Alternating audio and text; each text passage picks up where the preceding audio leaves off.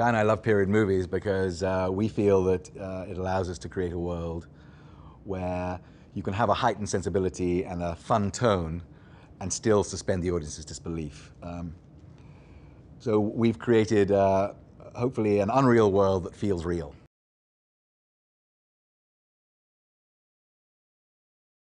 Our Napoleon Solo does have, on the surface, very similar characteristics to Napoleon Solo in the television series in that he is the, he's the man with the gift of the gab, he's very smooth, he's a ladies' man, uh, he's a man who's able to improvise and uh, make the best out of difficult situations, and he's very casual and smooth and cool.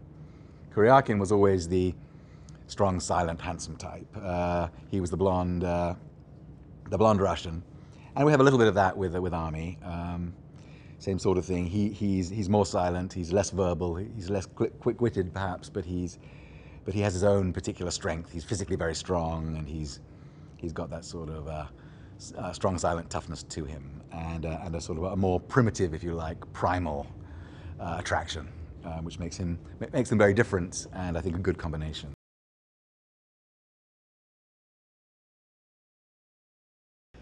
Really, Henry, uh, who we've been a fan of since the Tudors, seemed like the obvious first choice for a Napoleon solo. And uh, Armie, likewise, who we'd been a fan of from the social network, um, felt like uh, the right person for Kuryakin. So there wasn't really, uh, they just felt right. It was, obviously we, we, we, did our due diligence and we went through various lists as one always does, but they were far and away our first choices for those two characters.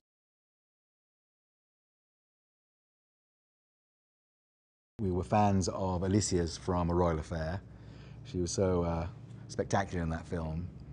And uh, we wanted a European girl. We wanted somebody who could play uh, a German girl and somebody who had that fantastic mixture of uh, sort of youth and naivety, but real intelligence and real strength uh, that she brings to the table.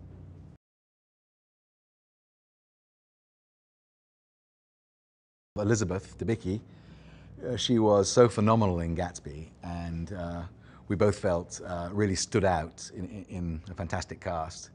That again, she was when her name came up, she felt like a like a sort of inspired and obvious choice. Uh, she then did a reading, uh, uh, and she was sensational.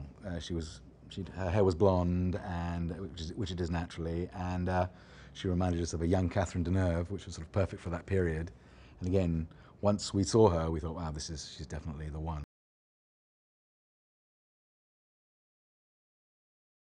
I think one of the best and most interesting things about the, what Guy does as a director is that he's confident enough to, um, to um, come there on the day and be open enough to take the time to actually go, wait, can we make this better now? We've got this, it's good, but what can we do to make it even better? What can we do to make it great? And I think very often he comes up with really, really cool stuff on the day. Um, and occasionally I do too.